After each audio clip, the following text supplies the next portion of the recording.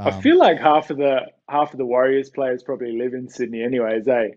I think I think like there's a lot like a, a massive it's funny with um it's funny with the NRL, hey, like you like the New Zealand Warriors you think would be like a team of players that are all in New Zealand, but there's like Australian players that play for the Warriors and then there's like it's it's funny. It's funny, but it's cool. Like I, I sort of miss watching watching the league because like yeah, when I lived over in Sydney, it was such a big thing. And when I first moved over there, when I was like 20, I was like, what is this? Like I'd never like I think it would be on in Perth at like midnight because no one really cared about it and we didn't have a WA team, so no one really watched it.